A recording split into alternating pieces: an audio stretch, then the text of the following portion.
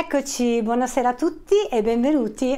Sono Rosa Tummolo, direttrice del Giardino dei Libri e questo è il 92esimo webinar gratuito della serie Dialogo con gli autori. Questa sera ospiteremo in diretta, in collegamento, abbiamo Marco Cesati Cassinna, autore, ricercatore e studioso di fenomeni legati al destino, alle coincidenze e alla sfera spirituale. Ci parlerà della legge del karma. Buonasera Marco, ciao! Buonasera, È veramente un piacere averti qui come ospite del Giardino dei Libri. Buonasera a tutti voi che siete online. Buonasera. Grazie mille per aver accettato il mio invito. Un vero piacere come sempre.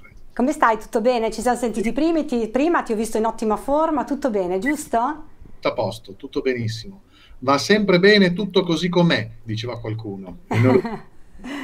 bene. Eh, ti voglio aggiornare sul numero degli iscritti che sono veramente tanti e precisamente me lo sono segnato alle ore 20 e poi si stanno aggiungendo altri 4.549 iscritti. Che dire, a me fa molto piacere. Anche a me. Siamo veramente tanti. Anche a me. Okay. Senti, Senti Marco, ti voglio presentare brevemente agli iscritti che ancora non ti conoscono, perché io so che ti conoscono in tantissimi. Per cui Marco Cesati Cassin è uno scrittore e ricercatore nella sfera spirituale e più precisamente nei temi del destino, le coincidenze e il pensiero positivo. Ha partecipato a numerose trasmissioni tv come Voyager, Il senso della vita, Mattino 5 e La vita in diretta. A gennaio 2016 era protagonista dello speciale Angeli di Canale 5. Nel mese di marzo 2016 ha partecipato come ospite per ben due volte alla trasmissione La strada dei miracoli su Rete 4. È collaboratore dell'Università Niccolò Cusano di Roma e tiene conferenze e seminari in tutta Italia. E tiene anche incontri one to one di formazione, motivazione e risoluzione problemi. Ed è autore di numerosissimi libri. Esempio questa sera, ve lo faccio vedere che è molto molto interessante, La legge del karma, è un libro fresco di stampa uscito a fine gennaio e devo dire che attualmente è nella top 10 della classifica di vendita del Giardino dei Libri. È un libro che a me personalmente, Marco, è piaciuto tantissimo e consiglio a tutti i partecipanti di leggerlo. Eccolo qua. Poi visto dietro che bella vetrina che ho, Marco? Meraviglioso. Bene Marco, allora prima di lasciarti la parola ricordo ai partecipanti che potete interagire e partecipare attivamente facendo delle domande qui nella chat eh, sulla vostra destra relativa all'argomento di questa sera. Potete scriverci così Marco risponderà alla fine del suo intervento. Allora Marco, io questa sera, insomma, voglio dire che ci parlerai di che cosa è il fatto e il destino del perché ci accadono determinate cose e non altre ed è il perché accadono proprio in certi momenti della nostra vita. Ok, ehm, ricordo a tutti perché questa sera vi faccio anche un po' lavorare. Se Ricordiamo la penna e la carta, giusto Marco? potete procurarvi al volo un paio di fogli e una penna, vi faccio fare due piccoli lavori comunque molto utili per voi, molto eh, diciamo da cui potete trarre dei significati, potete trarre delle vostre conclusioni e poi partecipiamo in modo un pochino più interattivo. Quindi procuratevi per piacere adesso così non vi dovete alzare. Penna e fogli. Penna Io sono già pronta. Molto semplice. Bene partiamo subito. Partiamo innanzitutto dicendovi una cosa molto importante. Io sì, sono uno scrittore perché questo libro che è uscito è l'ottavo, quindi oggi posso dire tranquillamente che sono uno scrittore, grazie al cielo sono pubblicato da una casa editrice nazionale molto importante del gruppo Mondadori, però io mi sento prima che scrittore ricercatore. Cosa significa oggi essere ricercatore? Significa che tutto quello che io vi racconterò stasera, io ci credo veramente, ci credo perché sono peggio di San Tommaso. Sono peggio di San Tommaso vuol dire che ho sempre cercato la prova. Ah, si dice così, vorrei la prova, vorrei crederci fino in fondo, non solamente sulla teoria, anche se magari tante volte sono in vibrazione con quello che ascolto, ma ho sempre bisogno della prova. Perché? Perché nel momento che mi arriva la prova, io diventerò assolutamente convincente nei vostri confronti. Poi ov- ovviamente ognuno ha la sua verità, io ho la mia verità e ognuno di voi che è qui in webinar ha la sua verità e se la tenga bene stretta, perché questa verità è l'unica che conta. Poi se quello che io vi dico qualcosa vi apre, qualcosa vi, vi fa elevare, bene, allora prendete quella porta, apritela e eh, proseguite il cammino sulle informazioni che vi do. Se invece voi volete rimanere nel vostro, va bene lo stesso. Il mio compito finisce nel momento in cui ve l'ho comunicato, vi ho reso partecipi. Questo è molto importante. Allora, partendo dal concetto che io sono un ricercatore, vi vengo a dire che il karma, che è la parola di cui oggi noi eh, parleremo anche con molti fatti, con delle immagini anche, quindi farò vedere anche alcune cose, il karma è la sorella maggiore di un'altra parola che si chiama destino. È inutile che noi parliamo di karma se non sappiamo su dove agisce, che è il destino di ognuno di noi. Ma se io dovessi domandare a tutte le migliaia che voi siete, ma che cos'è il destino? Che cos'è il tuo destino? Bene, io sono sicuro che la maggior parte di voi direbbe ognuno una cosa diversa.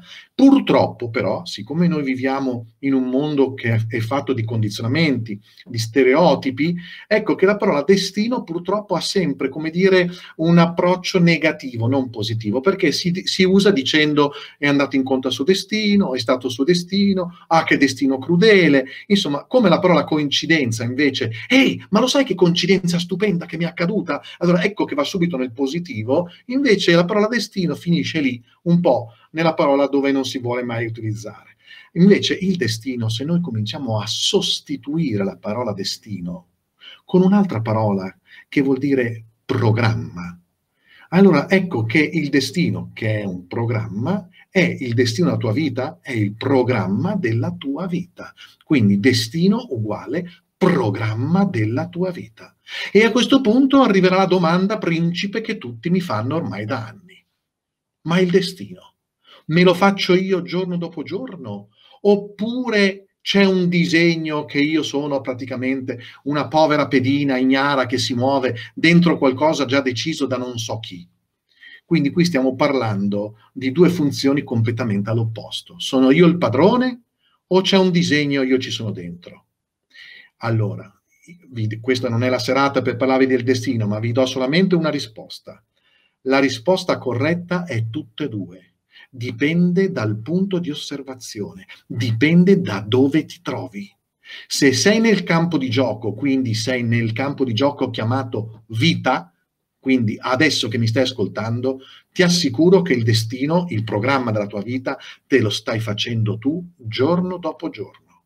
Se invece non sei nel campo di gioco, sei ancora dall'altra parte, quindi immagina che il campo di gioco sia un campo di calcio e tu sei ancora sugli spalti, ecco che tu vedi la partita, vedi quello che tu farai, ma non perché tu hai deciso che farai una cosa o ne farai un'altra, perché tutto è già accaduto, perché tutto è già accaduto.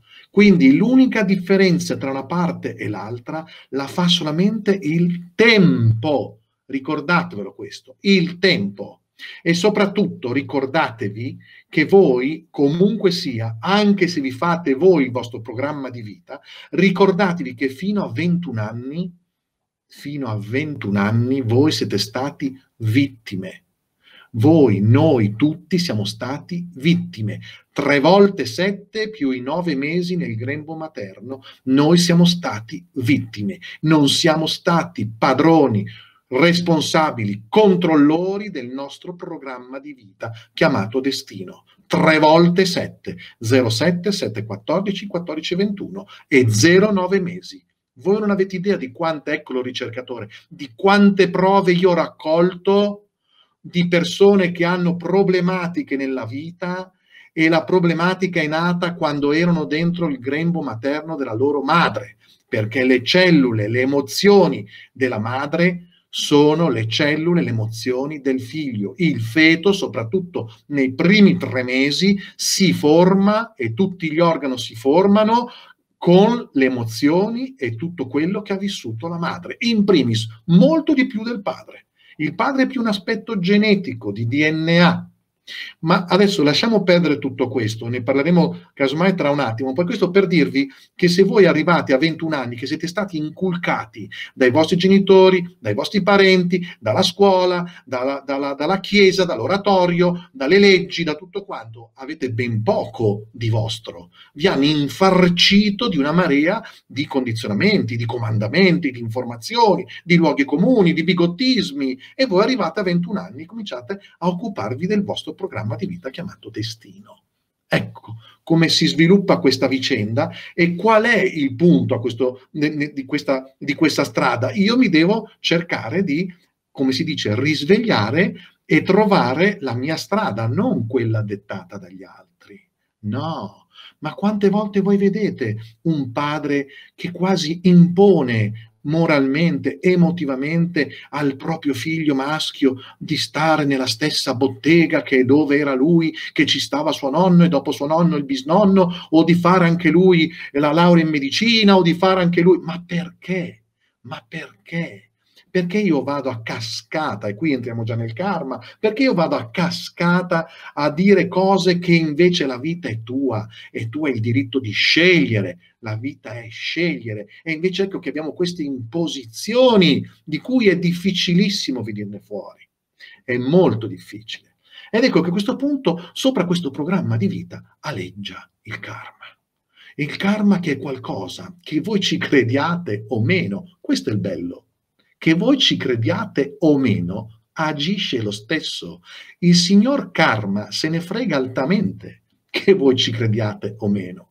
Il karma è una legge incorruttibile, il karma è una legge suprema, è una legge che noi non possiamo assolutamente modificare, ma soprattutto il karma è talmente autonomo che deciderà lui il modo e il metodo con cui ti deve restituire.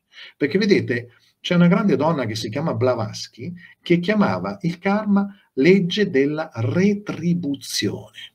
Una parola stupenda, legge della retribuzione.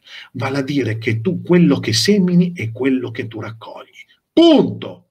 E qui cominciamo a togliere subito cerchiamo di sfatare certi luoghi comuni, la gente dice, mi ferma e dice io ho un karma pesantissimo, chissà cosa ho combinato nella mia vita precedente. È vero, è vero che tu arrivi su questo mondo indebolito o fortificato di quello che tu hai compiuto. E quindi arrivando, e adesso vi faremo anche un test, eh, attenzione, arrivando tu vedrai che cosa hai da pagar pegno, cioè vuol dire è come un campionato, dato che facciamo sempre la, la, la solita storiella del campo di calcio, tu arrivi in questa vita e sei a zero, o hai per esempio meno 10 perché le hai combinate, quindi devi fare da meno 10, arrivare a 0 e poi andare avanti, no? come quando ci sono le penalizzazioni delle squadre di calcio. Oppure tu arrivi e c'hai più 10, per dire, perché hai un credito da scontare. Un po' come quando tu fai i credits o i debits, no? Tra poco lo vedremo. E allora questo karma si comporta con te comunque sia in parte dalla vita precedente, quindi arrivi col tuo magazzino, tu arrivi su questa vita e hai delle bretelle e dietro hai un magazzino, un deposito. Lo puoi aprire solamente tu, lo puoi vedere solamente tu. E a questo punto questo deposito è pieno di tutto quello che tu hai fatto nelle vite precedenti. Quindi tu con, semplicemente devi aprire questa porta di questo deposito e tirar fuori quello che c'è. Non puoi aprire altre porte, hai solo quella.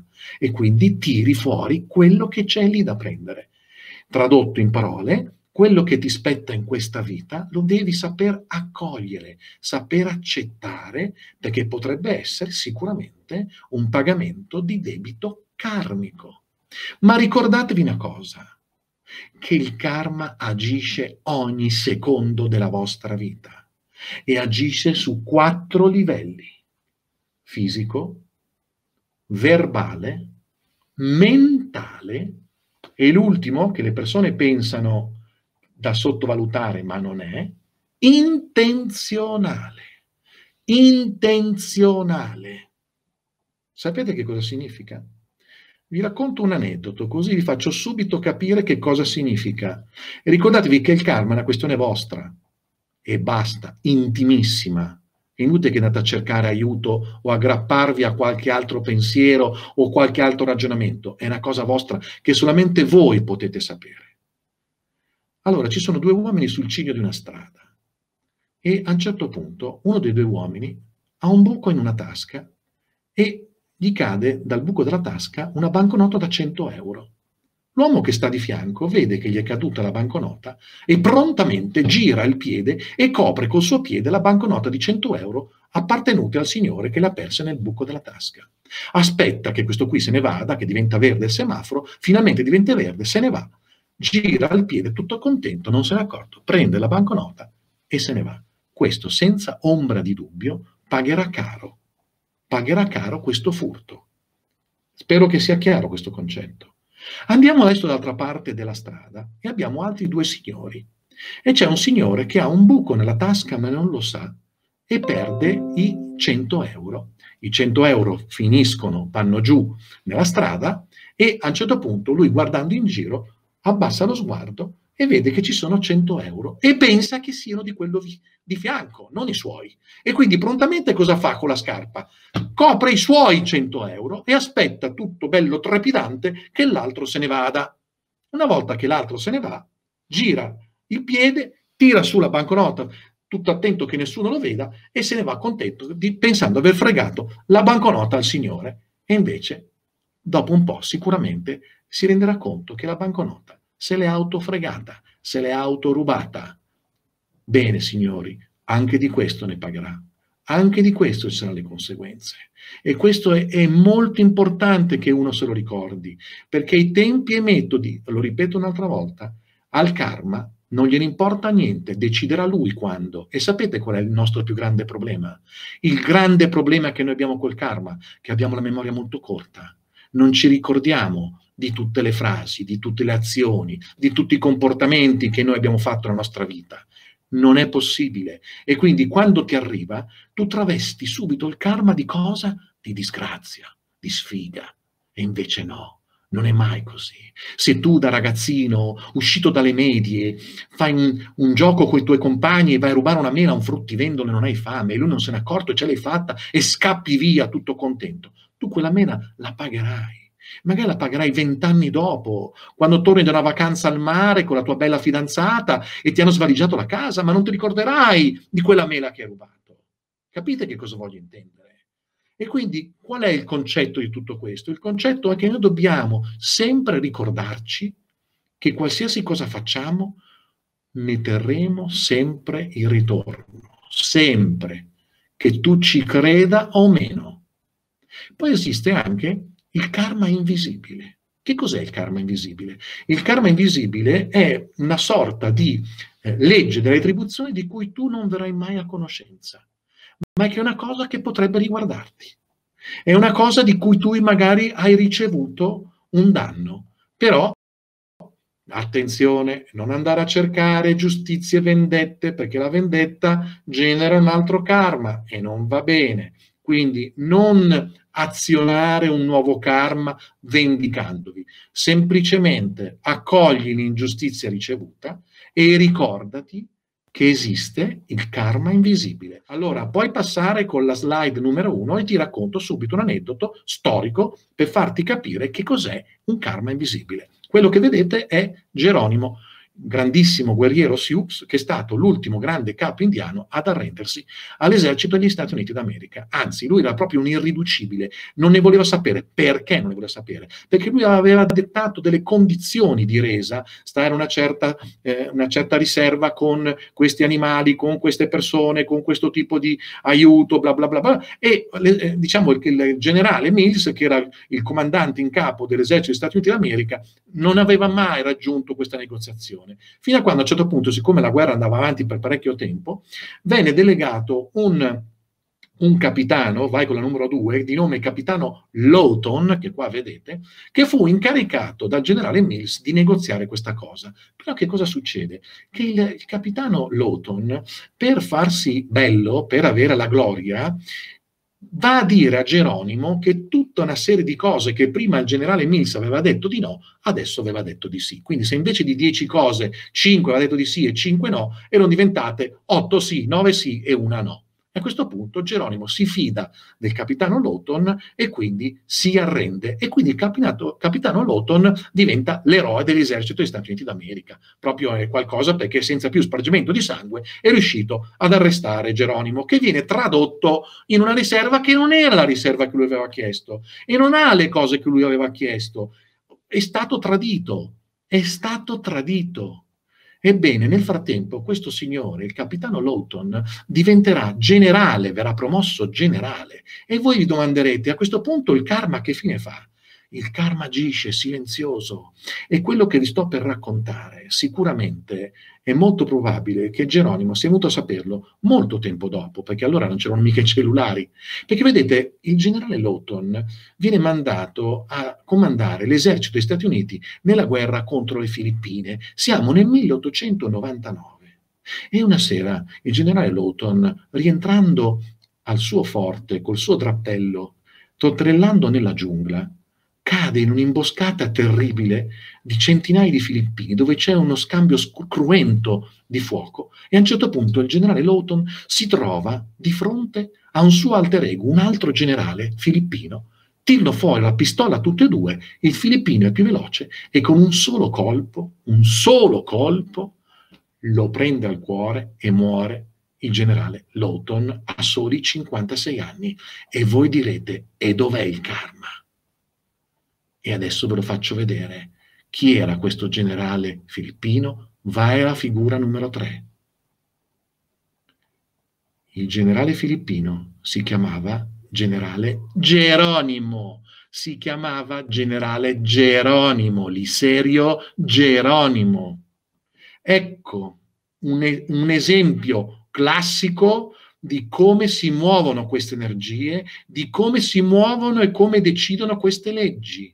Io, e poi vi dico che l'ego non deve essere soddisfatto, uno non dirà ah, ben gli sta, voi semplicemente lasciate andare perché questa persona che vi ha fatto un torto pagherà sicuramente e se non lo pagherà in questa vita, lo pagherà nella prossima. Su questo è certo. E allora a questo punto io vi voglio domandare, prendete carta e penna, voi, voi che mi state ascoltando, state pronti a fare questo piccolo esercizio perché vi voglio fare una domanda. Voi oggi, 24 febbraio 2021, prendendo in mano tutta la vostra vita da quando siete nati, voi ritenete di essere in debito o in credito con la vita? Che cosa significa essere in debito? Significa che voi avete ricevuto così tanto che vi dovete sdebitare, siete da sdebitarvi, quindi siete in debito con la vita. Io sono in debito con la vita perché ho avuto tanto, mi devo sdebitare. All'inverso, se voi avete avuto così poco, avete sofferto così tanto, avete avuto così tante ingiustizie, avete avuto così tanti dolori, allora voi siete in credito con la vita, siete in credito, dovete ricevere. Allora prendete carta e penna e fate questa autoanalisi. Un consiglio, è un esercizio molto veloce e molto semplice, ma deve essere onesto. Guardate, potete ingannare chi volete, ma non voi stessi. Cercate di essere consapevolmente onesti con voi stessi. Preparate una lista, eccola qua, dove dovete scrivere dalla parte sinistra scriverete 07 anni, 714, 1421, amore, salute, denaro, lavoro, famiglia. Come vedete sono 3, 5, 8 voci. Poi sotto fate il totale. Di fianco abbiamo messo D che sta per debito, e C che sta per credito.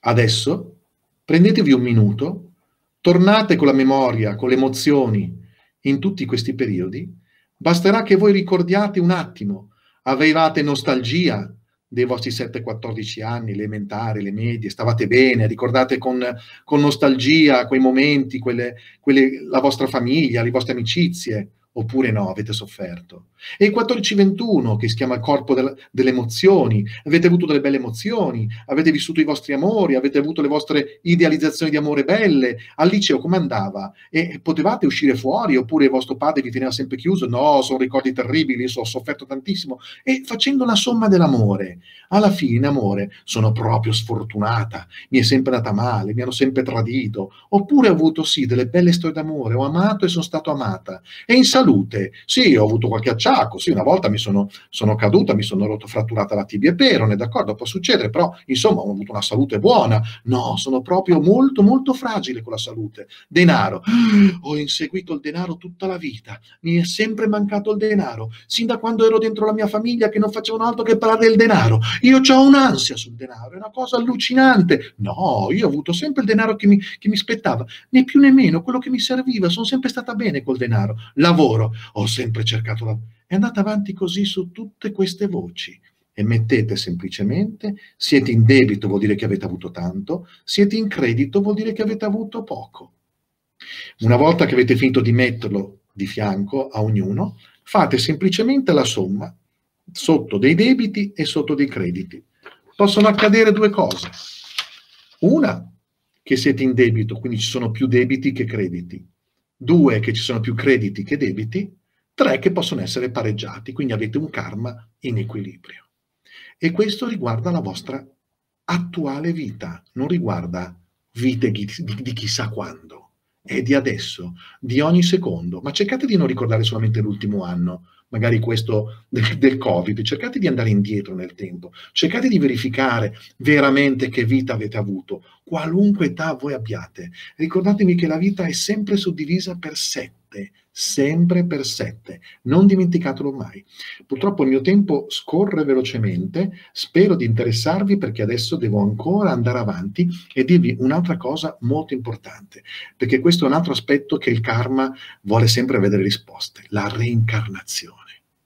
Allora, è inutile che io vi dica che credo fermamente nella reincarnazione, credo fermamente nella uh, multidimensionalità della nostra anima, che appartiene al nostro spirito, che attraverso il corpo fisico si manifesta in questo mondo. Quindi noi siamo anima, ogni centimetro della vostra pelle è anima, non abbiamo qualcosa qua dentro che è l'anima e il resto non conta nulla. Tutto quello che noi siamo e anche quello che non vediamo intorno a noi è anima, perché l'anima si espande, l'anima è energia che arriva a toccare, a coinvolgere chiunque voi abbiate a che fare l'anima è vibrazione e nella vibrazione andate o in sintonia o in distonia con chi avete a che fare. E allora a questo punto io vi domando, ma questa reincarnazione, ma me la date una prova di questa reincarnazione?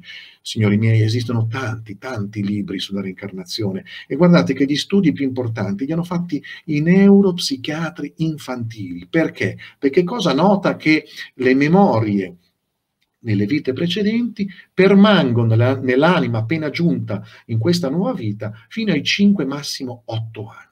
E qui vi voglio raccontare velocemente per me l'aneddoto più importante, più fantasmagorico della prova della reincarnazione ed è quello di Shanti Devi. Vai con la slide numero 4. Questa storia è accaduta prima della seconda guerra mondiale in India, vicino a New Delhi. Questa bambina che voi vedete si chiama Shanti Devi, diventerà la bambina più famosa del mondo per questa vicenda. Qualcosa di spettacolare, di incredibile. Perché? Perché questa bambina che vedete vicino a quel signore coi baffi è una bambina che fin da quando ha cominciato a parlare continuava a dire ai suoi genitori che lei, lei non era loro figlia, che lei era una donna sposata con un uomo che abitava a Nuova Delhi, che era circa 100 150 km dal loro paesino e continuava a descrivere non solo suo marito, ma tutta la sua famiglia, la casa in cui viveva, Voi potete immaginare questi poveri genitori che hanno cominciato a pensare che fosse pazza, che avesse delle malattie, ma siccome questa cosa perseverava e insisteva ed era sempre più precisa, a un certo punto, vi faccio la storia molto breve, ma a un certo punto il papà cominciò a indagare e scrisse una lettera dove rispose il fratello del marito vedovo, perché lei diceva di essere la... Eh, la moglie è scomparsa. Quindi stiamo parlando, tra l'altro, di una reincarnazione molto veloce, perché era successo vent'anni prima. Quindi tutte le teorie che ci vogliono migliaia di anni, centinaia di anni, non ci sono leggi, non ci sono regole, c'è solamente un ordine delle cose dove tutto è perfetto. E quindi se qualcuno deve rinascere un giorno dopo, rinascerà un giorno dopo. Se qualcuno deve rinascere mille anni dopo o duemila anni dopo, rinascerà mille o duemila anni dopo, anche perché dall'altra parte il tempo non c'è, c'è un'assenza di tempo, quindi non c'è neanche l'eternità per dire. L'eternità è, è un concetto che fa da questa parte. Di là non ci può essere il concetto di eternità perché appunto il tempo non c'è e quindi non c'è neanche l'eternità.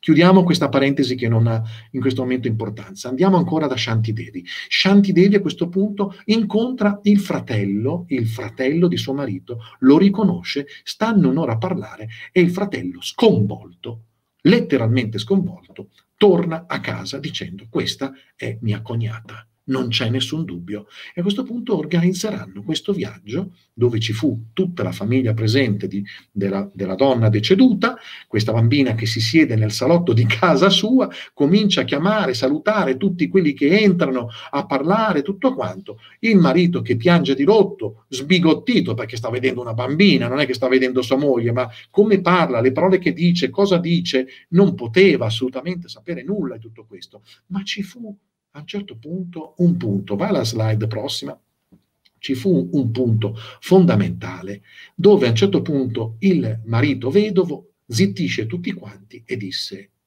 se tu veramente sei la mia adorata moglie, ti ricordi quando mi dicevi che ero uno spendaccione e che quindi avevi deciso di mettere da parte tutti i nostri, risparmi, tutti i nostri risparmi, tutte le nostre rupie, le avevi deciso di nascondere e mi avevi detto che non mi avresti mai detto le nascoste perché avevi paura che prendessi i nostri risparmi? Ebbene, te ne sei andata.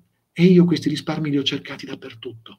Ho messo sotto sopra come un calzino tutta la casa e non l'ho mai trovati. Se tu veramente sei mia moglie dimmi dove hai messo quella scatola con dentro tutti i nostri risparmi. La bambina si alzò, corse fuori nel giardino, scavò con le mani nude sotto un albero fino a circa 50 centimetri e tirò fuori una scatoletta di metallo straripante di rupie. Ecco dove arrivò la prova che cancellò ogni ultimo dubbio. A questo punto viene informato il governo indiano dove vai avanti ancora con le immagini, il Mahatma Gandhi ordinerà un'indagine parlamentare, parlamentare, quindi vennero politici, parlamentari, medici, di tutto, per vedere questa storia se era, aveva un fondo di verità.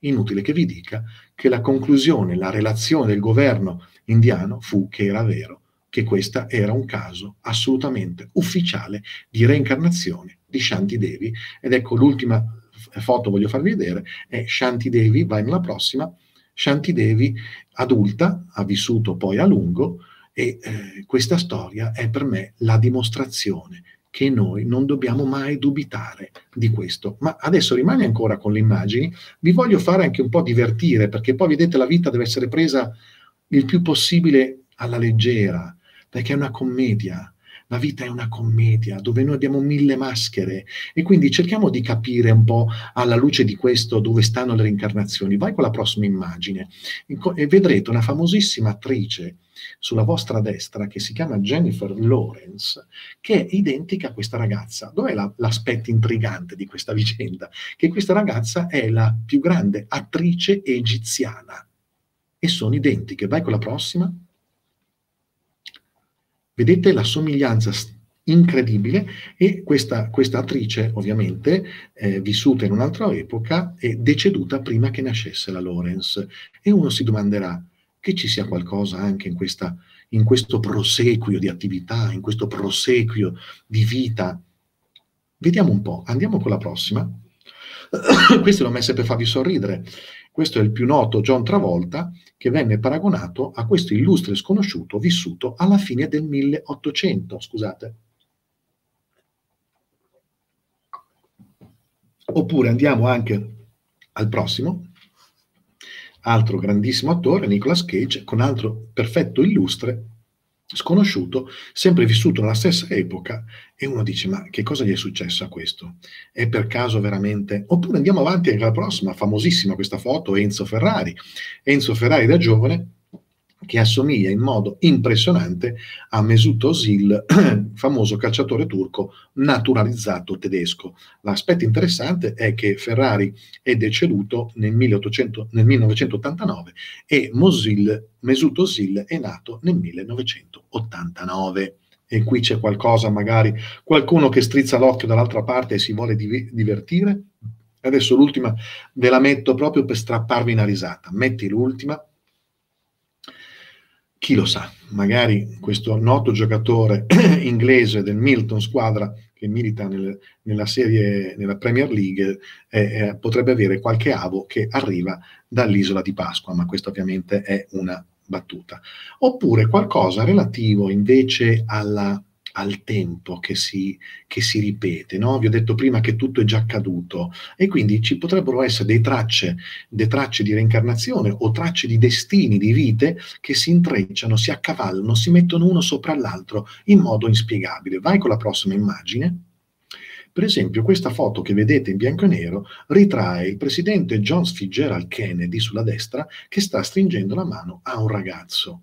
Quel ragazzo aveva il suo destino già segnato era già accaduto, perché era stato scelto tra 50 ragazzi di quel pullman, siccome il presidente era in ritardo, eh, doveva stringere mani a più ragazzi, ma non poteva, e quindi gli incaricati di ogni pullman avevano scelto a caso, ma il caso sappiamo con me non esiste, aveva scelto a caso un ragazzo e questo ragazzo era incaricato di stringere la mano a John Fitzgerald Kennedy. Bene, questo ragazzo che venne scelto si chiama Bill Clinton.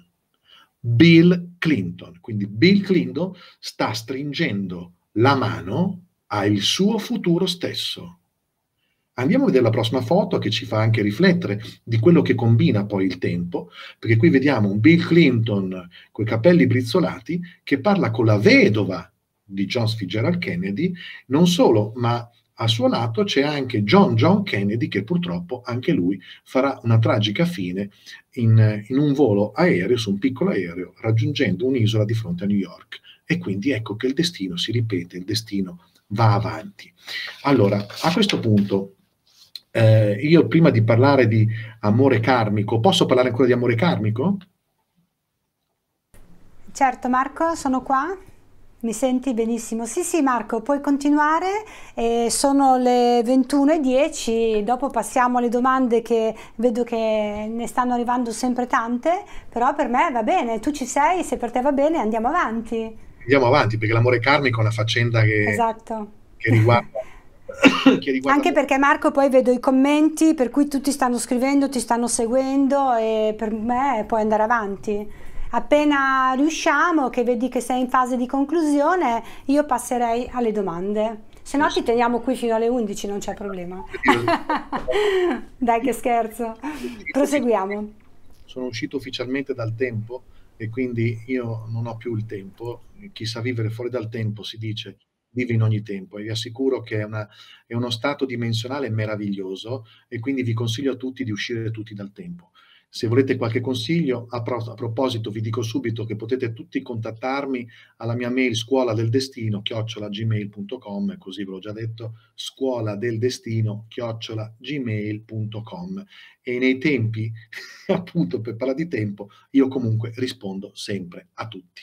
Allora, l'amore karmico fa parte a questo punto di quello che voi avete seminato e avete generato, ma attenzione, l'amore karmico ha una differenza da quello che è il famoso esempio della mela rubata o cose di questo genere, perché vedete, l'amore karmico arriva il più delle volte per risolvere, cercare di risolvere un problema di cui voi molte volte non eravate protagoniste, ma come vi ho detto prima, eravate vittime.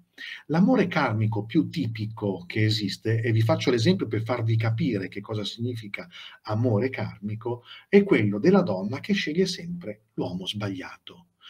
Porca miseria, ma è possibile che tutte le volte io debba andarmi a scontrare con lo stesso tipo di stronzo, scusate, dicono sempre così, quel cretino me l'aveva fatta su, mi aveva corteggiato, poi dopo dieci giorni, e poi me lo sono sposato, e poi questo e quell'altro. Perché? Perché c'è un bisogno irrisolto che io devo risolvere prima di avere un amore sano, ed è l'amore karmico che si presenta. Quindi, se io, per esempio, sono una ragazzina che dai 7 ai 14 anni non ho vissuto la presenza di mio padre e io vi assicuro che la presenza di un padre per una bimba è determinante, fondamentale per la sua vita. Non vi sto a spiegare adesso che cosa rappresenta la figura paterna perché è troppo lungo, ma vi assicuro che è veramente importante.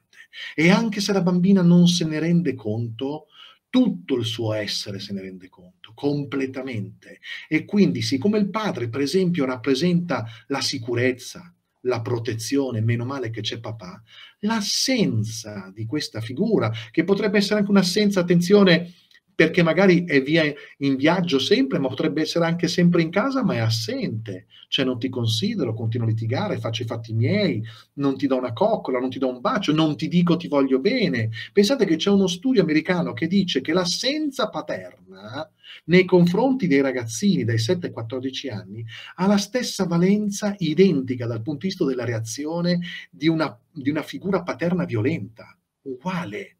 Quindi un padre che picchia che scudiscia o fa di peggio ha la stessa valenza di un padre che non c'è. Pensate quanto è importante. Quindi cosa fa questa bambina? Questa bambina, non trovando la protezione, se la cerca da sé, si autoprotegge e spicca fortemente la sua parte maschile.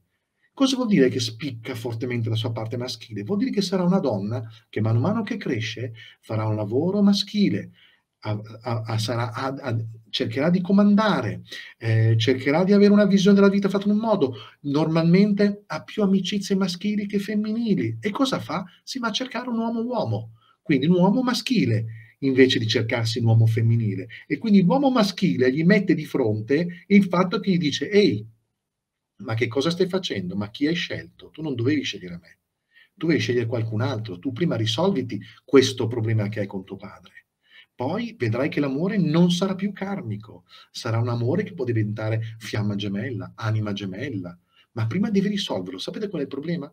Che l'amore karmico può durare anche tutta una vita, puoi anche non risolverlo il problema, perché poi nascono altre paure, nascono altri timori. A proposito, apro una parentesi, volete sapere se voi siete un'anima antica? Primo piccolo esercizio per sapere se tu sei un'anima antica domandati quante paure hai. Perché vedete, una persona che è un'anima antica ha molte poche paure, non si spaventa più di niente. Questo non gli fa paura, quell'altro non gli fa paura. Perché? E se si domanda perché, deve anche dire non lo so, ma io non ho paura. Questa è la risposta perfetta. Sapete perché? Perché le ha già vissute, è un'anima antica. Le ha già archiviate, fa già parte dei suoi registri akashici e quindi ha sempre meno paura. E in ultimo, e in ultimo, ha meno paura della morte, che non chiamo mai morte, ma porta, ha meno paura della porta. Che cosa c'è dietro quella porta? Ecco, questo vuol dire essere un'anima antica. Allora a questo punto chiudo la parentesi e dico, per risolvere un amore karmico devi prima risolvere la sofferenza che tu hai avuto quando eri piccola ci sono dei metodi, ci sono delle tecniche che sono fantastiche e qui è il ricercatore che parla perché le ha provate e riprovate hanno sempre funzionato. C'è sempre una soluzione per ogni cosa. E ricordatevi, ricordatevi sempre, ogni giorno che vi alzate, di avere le vostre motivazioni. Abbiate le vostre motivazioni per vivere. Scendete dal letto, e abbiate le vostre motivazioni, quali esse siano. Un consiglio, non riponete le vostre motivazioni solamente nei vostri figli, perché i figli o vostro marito, perché i figli e vostro marito hanno il loro programma di vita, di cui voi non potete conoscerne ogni parte. Vi è sempre una parte celata in ognuno di noi del nostro programma di vita, una parte che non potremo mai prevedere e si chiama fato, fatalità. Ma anche questa è un'altra porta che non possiamo aprire. E andiamo avanti sull'amore karmico che vi dirà esattamente se voi siete nella fase giusta per risolverlo o meno. E allora, per parlare di amore karmico, e con questa mi dedico poi alle domande, vi faccio vedere questa foto meravigliosa. Magari qualcuno di voi conoscerà già la storia, ma io vi assicuro che è veramente l'emblema, secondo me, dell'amore nel tempo. Fai vedere la figura numero eh, 17. Oh, quello che vedete, vai pure in campo pieno, perché voglio farle vedere per bene queste, queste quattro immagini.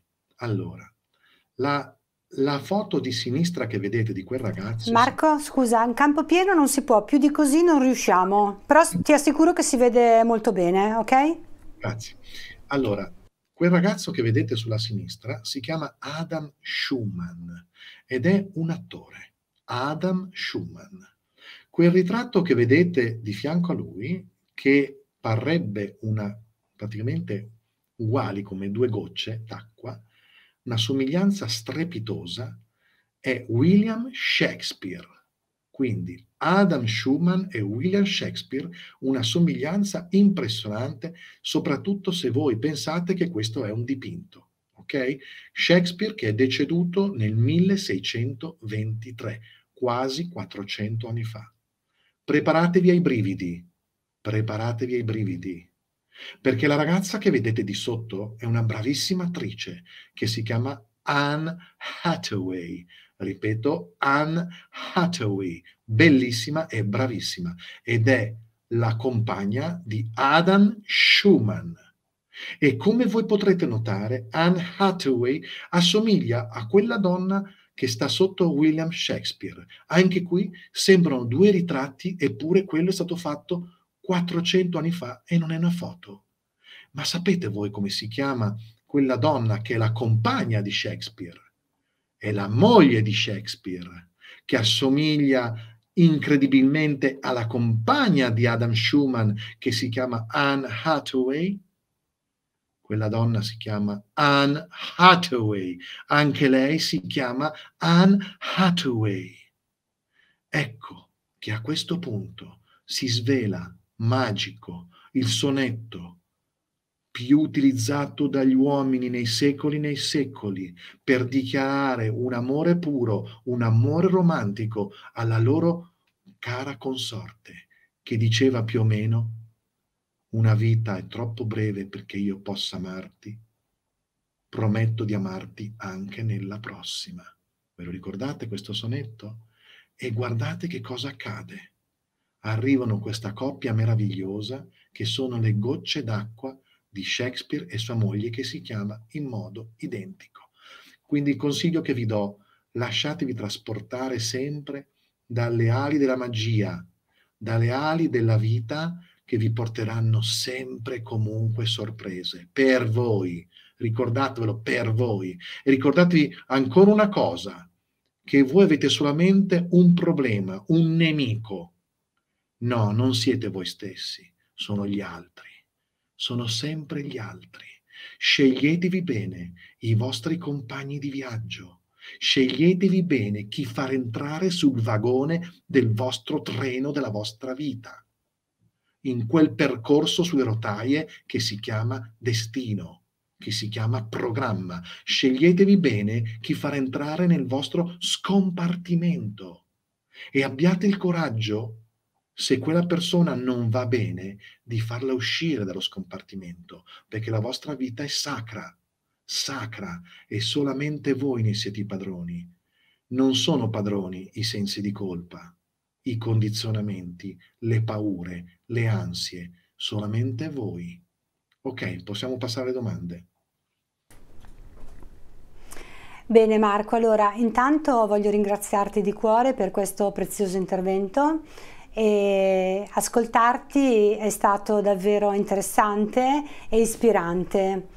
è stato un po' come un viaggio affascinante alla scoperta della legge del karma, per cui grazie mille di questo tuo primo intervento. Senti, prima di lasciare spazio alle domande, volevo ricordare che il libro La legge del karma, questo qua, se volete lo potete acquistare sul nostro sito Il Giardino dei Libri. Voglio anche dirvi che oltre a questo libro sul Giardino dei Libri trovate anche gli altri libri di Marco. Io qui ne ho un po', questi qua, giusto Marco? Giusto. Esempio a me è piaciuto tantissimo Le coincidenze che cambiano la vita, questo libro qua che è molto bello, riconoscere e cogliere i segni del destino. Eccolo qua, sempre sul giardino dei libri. Poi vabbè c'è il perdono, presenza positive, anche questo è molto interessante, noi siamo qui per caso. E infine il tuo ultimo libro bestseller, La legge del karma. Bene, ora passerei alle domande. Ne sono arrivate tante, come sempre io dico, quando sono dietro le quinte ascolto, ho ascoltato te eh, e poi leggevo un po' le domande per, per potertele fare e essere già pronta. In, questo, eh, in queste domande che io ho letto ci sono, eh, Marco, alcune persone che non è proprio chiaro il concetto eh, del debito credito. Cioè, se abbiamo avuto tanto, significa che nella prossima vita dobbiamo avere zero? Tipo, esempio, Daniela domanda, ad esempio, ma se, ci so, ma se sono in debito è perché ho fatto buone azioni in passato? Essere in credito è perché mi sono comportata male in passato? Oh, sono delle bellissime domande alle quali rispondo il più semplicemente possibile. Innanzitutto partiamo da un concetto che non esiste bene e male, perché quello che è bene per te potrebbe essere male per me. Esiste proprio una legge di causa ed effetto. Quindi c'è un detto che dice orientale, colui che nasce cieco sicuramente in una vita precedente ne aveva ciecati. Quindi è sempre una legge di ritorno, non è una questione di bene o di male. Quindi se tu sei in credito è perché tu hai sicuramente un, un, karma dove hai pagato molto e a questo punto, scusate, il credito vuol dire che tu sei... Ehm, hai, hai, hai, sofferto tanto e quindi a questo punto sei in credito con la vita e quindi devi ricevere, quindi sei nella curva ascendente. Certo che se tu hai pagato tanto vuol dire che precedentemente qual è il punto fondamentale? Questa è la chiave che vado a rispondere anche all'altra domanda, è che se tu continui a ricevere e non dai, crei un karma che poi ti si appesantisce perché ci vuole un equilibrio. Quindi quando tu continui a ricevere, continui a ricevere e quindi diventi una forma egoica. L'egoista è quello che riceve, riceve e non dà, non diventa altruista. Ecco che tu generi un karma che poi si va a scatenare nei tempi e metodi che lui decide e possono essere anche più spaventevoli perché una persona egoista molte volte, per esempio, finisce la vita prima del previsto, oppure finisce su una carrozzella, oppure gli capita qualcosa. Perché? Perché è una legge incorruttibile anche questa del dare e ricevere. Pensate, è venuto in mente che c'è un, una grande entità di nome Kempis, che apparve al Cerchio Firenze 77, che disse a Roberto Setti, il fondatore del Cerchio, delle frasi che mi hanno fatto venire in mente quello che voi state dicendo adesso. Pensate che lui disse la bellezza di quasi 50 anni fa, queste frasi, riflettete molto su quello che sto per dirvi. Non è vero che solo chi ruba sia ladro, lo è anche chi riceve senza dare.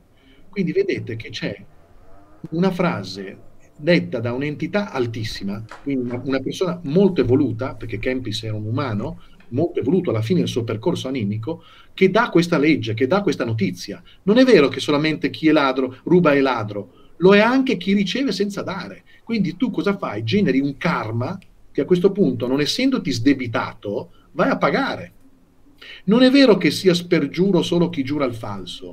Chi tace sapendo e chi nasconde la verità con un linguaggio ambiguo è altrettanto spergiuro e propagatore dell'errore e di ciò poi dovrà renderne conto. Anche questa è una verità karmicamente molto importante. Non è vero che sia più importante l'azione dell'intenzione, ne ho parlato prima, perché dall'intenzione si conosce l'uomo, è sempre dall'intenzione che si conosce l'uomo. Non è vero che il bene sia opera di Dio e il male è opera dell'uomo. Tutto, tutto fa parte di un grande piano divino in cui non v'è posto per l'errore e l'imperfezione. Grazie Marco. Passiamo con la domanda di Raffaella. Mi sembra che il karma sia una condanna punitiva, come la legge del Vecchio Testamento. Mi sento condannata. Chi è senza peccato scagli la prima pietra. Che ne pensa? Eh, io purtroppo qui eh, non me ne vogliate, ma io non credo ai peccati e quindi sinceramente eh, siamo sempre nella, nella causa, nell'effetto, nella verità di ognuno, quindi non è chi è senza peccato, è quello che tu semini e quello che tu raccogli. Quindi anche magari il famoso detto male non fare, paura non avere. Quindi pensate che l'altruismo è la moneta d'oro di Dio. Quindi, per esempio, se voi vi comportate male in certe situazioni, ma con la mano sinistra, e con la mano destra siete di cuore, non in, con interesse, attenzione, ma di cuore, siete altruisti, voi state già riequilibrando quello che avete combinato. Cioè dovete trovare dentro di voi, con il cuore, delle azioni per recuperare certi comportamenti che sapete di aver fatto e aver creato qualcosa che non andava bene, che vi potrebbe dar fastidio. E queste cose dovete farle voi intimamente, non è che dovete andare a comunicare a destra manca. C'è un detto che dice che il perfetto valore di un essere umano, e dico perfetto, sta nel compiere grandi gesti di altruismo e non dire mai nulla a nessuno. Questo è il perfetto valore. Quindi voi empitevi di quello che fate, ma non dite niente a nessuno godete del gesto meraviglioso che avete fatto, non dite niente a nessuno. C'è una notizia sul Corriere della Sera di qualche anno fa che diceva di un samaritano sconosciuto che non ha voluto lasciare le sue generalità e che ha donato un suo rene a una persona perfettamente sconosciuta a lui, non un parente, gli ha salvato la vita e non ha voluto che si pubblicassero il suo nome e cognome. Questo è il perfetto valore. Mi tolgo un rene per salvare la vita. Chissà questo cosa doveva sdebitarvi per rispondere a Raffaella, capisci? Ma con questo lui ha generato un equilibrio pazzesco e solo tu lo puoi sapere quanto hai ricevuto e quanto ti devi sdebitare. Bene, allora passiamo con Etra. Domanda, si può cambiare il proprio karma quando ci si ravvede dei propri errori? È certo che si può, ma non è solamente ravvedersi, ma è anche fare. Cioè il primo punto io mi ravvedo, ok. Il secondo punto è io faccio. Il secondo punto è io agisco, perché il primo mi rendo conto, poi mi devo muovere, non basta solamente dire, eh sì, mi sono ravveduta, ho sbagliato, eh, fa qualcosa, agisci, fai del bene.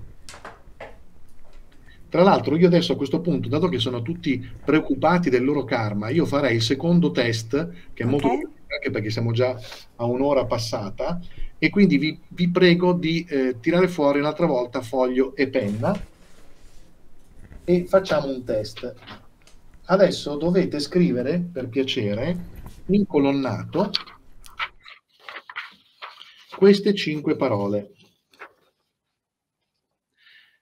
Lasciate un po', un po di spazio sul, sulla parte sinistra della, del foglio e scrivete queste cinque parole. Mai, di rado, a volte, spesso, molto spesso. Poi sotto scrivete totale.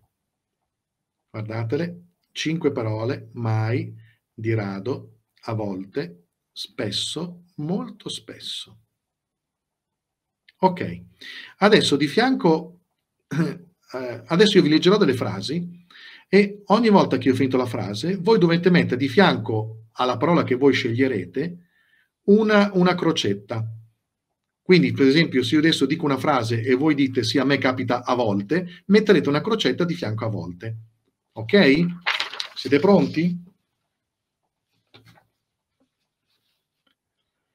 Sono felice a prescindere dal denaro che ho. Mai, di rado, a volte, spesso, molto spesso. Cercate di essere onesti con voi stessi. Cercate di essere onesti con voi stessi. Seconda. La mia felicità dipende da me stesso e non dagli altri. Mai, di rado, a volte, spesso, molto spesso. Mettete una crocetta dove ritenete di avere questa risposta. Terza frase. La mattina quando mi sveglio sono contento del nuovo giorno che sta per iniziare, a prescindere dai problemi a cui andrò incontro. Mai, di rado, a volte, spesso, molto spesso. Se qualcuno mi critica o mi giudica, è la quarta questa, eh, mi arrabbio o ci rimango male. Se qualcuno mi critica o mi giudica, mi arrabbio e ci rimango, o ci rimango male. Mai, di rado, a volte, spesso, molto spesso. Voglio sapere chi ero in una vita precedente, assolutamente. Mai, di rado, a volte, spesso, molto spesso. Sono consapevole che le mie azioni, pensieri, emozioni hanno sempre una conseguenza ogni giorno della mia vita. Sono consapevole che le mie azioni, pensieri, emozioni hanno sempre una conseguenza ogni giorno della mia vita, mai di rado, a volte, spesso, molto spesso. Mi piace la vita che sto vivendo oggi, mi piace, mai di rado, a volte, spesso, molto spesso. Siamo all'ottava quando mi ammalo conosco sempre il motivo, il messaggio che la malattia mi sta trasmettendo. Mai, di rado, a volte, spesso, molto spesso. Mai, di rado, a volte, spesso. Nona, sono consapevole dei condizionamenti che ho ricevuto durante la mia giovinezza sono consapevole dei condizionamenti che ho ricevuto durante la mia giovinezza, mai, di rado, a volte, spesso, molto spesso. Ho capito, la decima, ho capito qual è il mio compito in questa vita, che poi tra, tra parentesi potrebbe essere anche quella di espiare, ma comunque ho capito qual è il mio compito in questa vita, mai, di rado, a volte, spesso, molto spesso. Ultime due. Undicesima. Mi fermo sempre quando sono in auto e qualcuno è sulle strisce pedonali che sta per attraversare la strada. Mai, di rado, a volte, spesso, molto spesso. Ultima, dodicesima, ritengo di essere una persona altruista ogni giorno della mia vita mai, di rado, a volte, spesso, molto spesso. Adesso,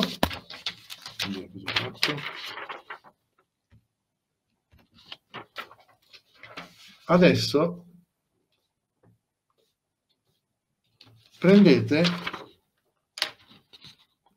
e mettete uno di fianco a mai, due di fianco a ra- di rado, 3 di fianco a volte, 4 di fianco a spesso, 5 di fianco a molto spesso. Questo è il valore di ogni parola.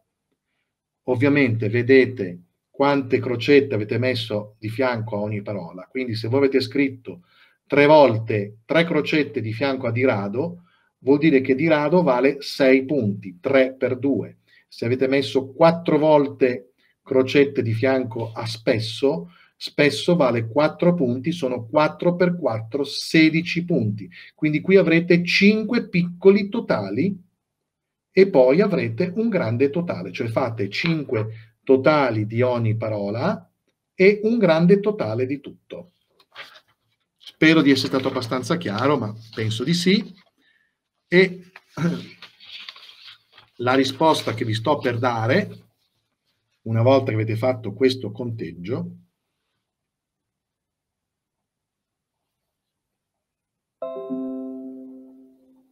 Attenzione, se facendo tutti i conteggi hai ottenuto più di 35 punti, ripeto, più di 35 punti, sei in una fase di equilibrio karmico.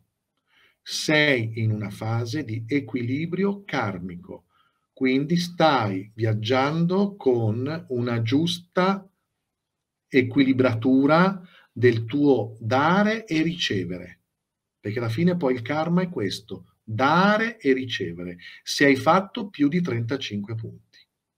Se hai fatto invece meno di 35 punti, eh, sei ancora lavorando sul peso karmico, quindi hai ancora da pagare pesi karmici. Ok? Spero che i vostri punteggi siano tutti sopra i 35 40, perché vuol dire che siete persone evolute, felici e amorevoli. Se magari qualcuno te lo scrive sarebbe simpatico e eh, spero che, soprattutto che questo piccolo test vi abbia fatto un po' così, stare bene in compagnia, ma è un test studiato da un gruppo di psicologi, non è, non è una cosetta così da fare, grazie, arrivederci. Ok, allora andiamo avanti con le prossime sì. domande. Allora, io come ti dicevo prima ci sono tante, tante domande e vorrei sempre accontentare tutti e siccome ce ne sono tante, eh, per quanto possibile riesci a dare delle risposte un pochino più veloce in maniera che così accontentiamo un po' più di persone? Certo. Ok, allora Laura domanda cosa, si, cosa ci dice del karma collettivo? Oh, il karma collettivo. Innanzitutto vedo che continuano ad arrivarmi, scusate, richieste di amicizia su Facebook. Io chiedo vegna, ma è da mo' che non posso più accettare amicizie su Facebook. Ho una pagina ufficiale che si chiama sempre Scuola del Destino, andate lì. Oppure andate su Telegram, no, questo dopo, questo dopo. Oppure andate su Telegram e eh, mi trovate Marco Cesati Cassin, canale pubblico. Ripeto, Telegram, Marco Cesati Cassin, canale pubblico. E io molte mattine mando dei vocali molto intriganti alla mattina presto per andare a scuola, a lavoro, dovunque voi andiate, che vi faranno un po' sorridere, un po' riflettere e quindi potete entrare in contatto con me in questo. Chiudo la parentesi perché vedo che continuano ad arrivare richieste di amicizia, ma io non le posso. Andate nelle pagine pubbliche perché lì è più semplice. Allora, esiste come il karma collettivo? Eh, il karma collettivo esiste su tutti i profili e tutte le modalità. Esiste un karma nella nazione, per dire, che quindi è composto da una collettività di milioni di persone. Voi immaginate il karma collettivo della Germania ai tempi della seconda guerra mondiale, o immaginate il karma collettivo del popolo ebreo, o immaginate il karma collettivo anche di un paese. Qual è il, come si fa a generare un karma collettivo? È quando tutte le persone cominciano a pensare allo stesso modo e agiscono allo stesso modo. Quindi c'è da riflettere bene se queste azioni che compiono siano verso il bene o verso il male, perché a questo punto il karma che tu hai generato ti tornerà per forza contro. Si chiamano per esempio nel negativo le egregora. L'egregora è un termine che dice, immaginate che sia una sorta di nube nera che si forma che è la conseguenza di tutte, perché il pensiero è energia, e questo non sono io a dirlo, ma è la fisica quantistica, sono tutte le azioni che compiono certe persone in una certa direzione, per esempio verso il male, che genera un'egregora e che è spaventosa, che ti si può ritorcere contro. Quindi esiste assolutamente il karma collettivo, assolutamente sì. Bene, e senti, un, prima di passare alla prossima domanda, eh, ci hanno scritto, eh, pochi sono sotto ai 36, a proposito dell'esercizio di prima, molti sono molto alti, 46, 54, 44, 41 e via via via. Te lo volevo dire perché ci stanno scrivendo in chat. Ok, molto bello, ma non Bene. avevo dubbi, sarebbero qui a guardare il giardino dei libri, scusami. guardare i Champion o che ne so, quindi eh, sono assolutamente d'accordo su questo. Ok, io continuo con Adriana. È una novità pazzesca, perché vedete, sì? tutti devono avere dei sogni, tutti devono avere dei progetti. Anch'io ho dei sogni, anch'io ho dei progetti e vi assicuro che i sogni devono essere proprio irraggiungibili, perché se non sono irraggiungibili, ma che ovviamente poi devi cercare di raggiungerli, che sennò che sogno è? Non è un sogno. Io ho un sogno pazzesco, enorme, che alla fine di questa webinar vi voglio svelare. Non l'ho detto neanche a te, Rosa, quindi... No, infatti eh. ti sto guardando perché sono curiosa, voglio saperlo e se non lo sveli ti chiederò alla fine di dircelo. enorme, fattibile, ma ovviamente a cui bisogna dedicare tanta, tanta fatica, tanta energia e ovviamente crederci. Ok, andiamo avanti con la domanda. Bene, allora ero rimasta con eh, Adriana. Adriana ti domanda o chiede, insomma, io ho perso la mia cagnolina per malattia. Dopo pochi giorni ho notato che il cucciolo di sette mesi che vive con noi ha preso le sembianze e i modi di fare della cagnolina morta. Può essere una rincarnazione? Ma era già vivo il cane o no? Da come me lo leggi mi sembra che era già vivo. È un cucciolo, penso il cucciolo, penso forse che è il cucciolo, insomma, la, la mamma sarà morta, penso che sia il figlio o la figlia. Ah, quindi due, due anime in uno stesso spazio è un po' difficile. Quello che ti posso assicurare è che i nostri cari amici pelosi sono anime che eh, tra l'altro nell'altra dimensione diventano insegnanti agli esseri umani, questo per dirvi come, come funziona il meccanismo all'inverso, sono in cattedra si dice, e eh, io ho avuto più di un'esperienza di apparizione eh, della mia amata cagnolina Berta e ah, quando dico apparizione non è una pareidolia, non è, sembrerebbe, era, io l'ho anche documentata e fotografata, quindi loro ci sono nell'altra dimensione, quando sono in questa dimensione sono notoriamente canali di comunicazione dei nostri cari, cioè quindi non è che la vostra cagnolina è vostra nonna, però vostra nonna può comunicare attraverso la cagnolina certi momenti in cui noi magari siamo in un momento di preoccupazione, quando guardiamo la nostra cagnolina diciamo ma come fai a guardarmi così, solamente tu mi capisci, potrebbe essere vostra nonna che agisce. Quindi sicuramente può essere, io poi non do mai limite alle possibilità, ma che diventi la, la, la, cucciola di sette mesi la mamma stessa mi sembra un po' difficile, soprattutto se poi c'è la mamma ci saranno anche delle, eh, ovviamente delle, e qui viene fuori San Tommaso, no? quindi ci devono essere sicuramente anche delle assomiglianze genetiche di DNA, di comportamento, di carattere, perché esiste anche questo nei, nei cani, quindi è da, è da, studiare un pochino di più, mi spiace non poter dare un'altra risposta, ma la certezza che ti posso dare è che loro ci sono ma è proprio qualcosa di sconvolgente, di meraviglioso. Ho tenuto una serie di conferenze che si chiamava Cani e gatti in paradiso, talmente avevo raccolto tante, tante prove. Infatti Adriana dice sì, era vivo insieme alla cagnolina. Eh no, quindi non è, per me non è assolutamente. Ok, allora passiamo con Anna. Di volta in volta fare, ecco, do questa possibilità che non è mai accaduta, potrebbe di volta in volta, come può fare la nonna, potrebbe farlo anche lei. Quello sì, quello sì. Bene. Anna domanda, come spiegare in termini di karma quando accade in un evento catastrofico improvviso come un incidente aereo o un attentato terroristico quando una grande quantità di persone apparentemente non unite da nessun legame incontrano la morte tutti insieme nello stesso momento? Eh e io devo risponderti in tre parole. No, vabbè, eh, sono domande comunque molto importanti. Molto. Allora, eh, innanzitutto, vai tranquillo. Dove eh, noi viviamo una dimensione duale, quindi la parte che a noi non piace, la parte oscura, il nero, il bianco e il nero, mettiamo che il bianco sia la parte bella e il nero sia la parte brutta, lo yin e lo yang sono inscindibili. La dimensione duale significa che le due parti devono coesistere. Tu non puoi sapere il significato della parola bene se non c'è anche il male. Quindi le due cose sono fondamentali per comprendere. Ecco che le disgrazie che accadono hanno una funzione dentro l'ordine delle cose, dentro l'ordine delle cose, l'ha detto anche Kempis nell'ultima frase, anche l'imperfezione, l'apparente imperfezione fa parte dell'ordine. Così è, si dice, e così deve essere. Ma qui abbiamo un aspetto che tu hai toccato e che mi fai portare alla prossima slide, che è la numero 18, e facciamola vedere, che viene chiamata il cigno nero, ovvero quando arriva qualcosa di imprevisto, di imprevisto che tu non puoi assolutamente governare. Il cigno nero è una, una, diciamo, una forma di, di, eh, di fatalità che noi possiamo chiamare.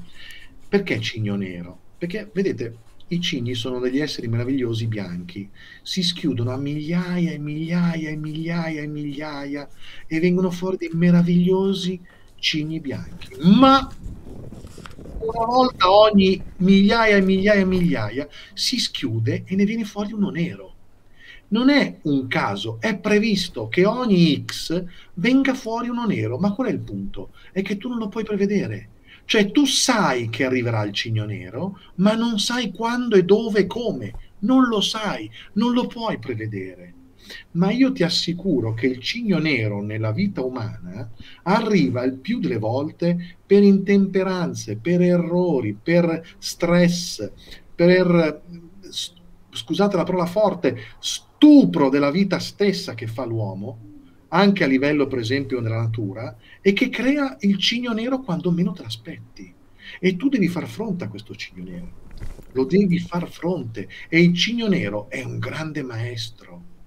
Per esempio un cigno nero che accade nel mondo della finanza è quando nel 2008 ci fu la crisi globale del mondo della finanza. Ma cosa accade poi quando arriva un cigno nero? Che questa è una regola aurea, che sul, sul 100% il 90% viene distrutto, perde, accadono le cose più incredibili e un 10% ci guadagna, ci vive, ci sorride sopra. C'è sempre anche qui una dualità.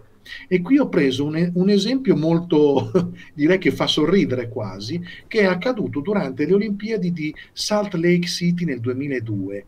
Vai alla prossima slide.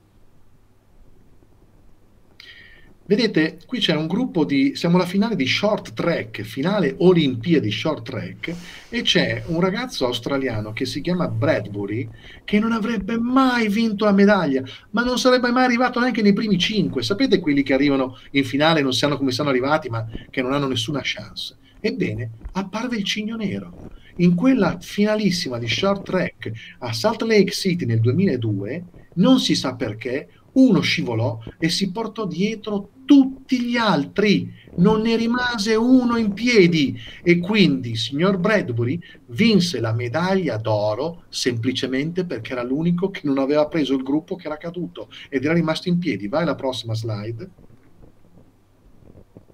Eccolo qua, che sorride meraviglioso, medaglia d'oro, short track, non avrebbe mai vinto. Ecco, lui è l'esempio in piccolo del 100% di una gara, 90% a terra, 10% nei gol.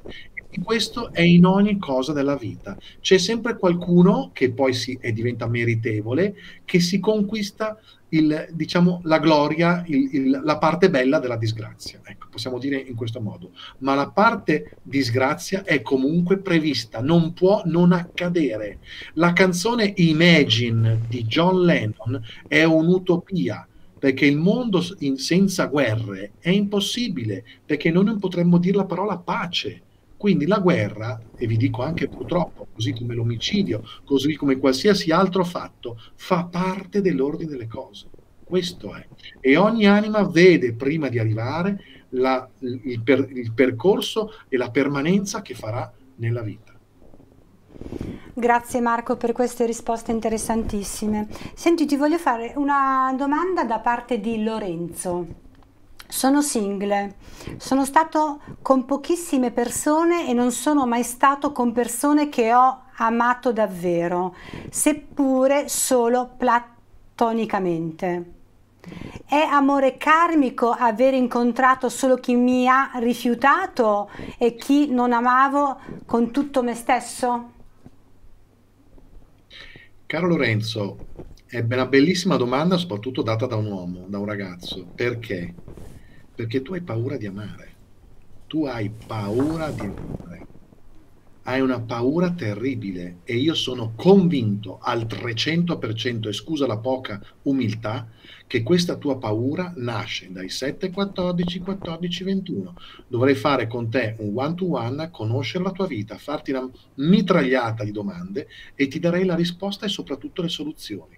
Però tu devi prima di tutto cancellare la paura di amare e di essere amato e quindi devi tornare nelle tue stanze del passato, mettere ordine, ripulire tutto, chiudere quelle stanze una volta per tutto e vedrai che non avrai più paura e attrarrai, perché è sempre una vibrazione, la vibrazione dominante in questo momento tua è di paura. Quando tu cambierai vibrazione non avrai più paura, attrarrai le persone giuste.